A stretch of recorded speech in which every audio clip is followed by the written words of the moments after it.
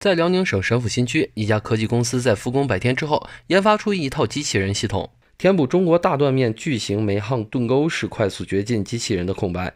二零二零年初，国家八部委联合印发《关于加快煤矿智能化发展的指导意见》，明确用十到十五年的时间完成所有煤矿自动化、智能化升级。而神府新区这家科技企业，其所承担的就是这一领域正在进行的一个重点项目的核心子项目，即大断面巨型煤焊盾钩式快速掘进机器人系统。但是，突如其来的新冠肺炎疫情却打乱了原有计划，也因此，当复工复产开启后，这一项目成为了科技公司的首要任务。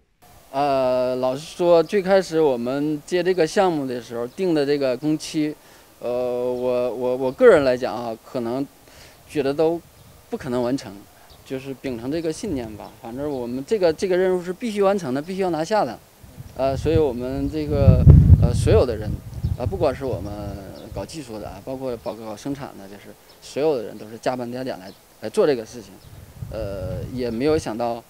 会真的能成功。据悉，此次研究出的大断面巨型煤夯盾钩式快速掘进机器人系统，可以有效提高目前的煤夯挖掘效率。在其合理的应用场景下，可以将当前中国大型煤夯挖掘速度提高近五倍。就是采用现代的结构方式，如果在这个呃条件稍微好一点的地方呢，比如说这个一个月能达到三百米到四百米的结构方式，结构结构速度啊四百米。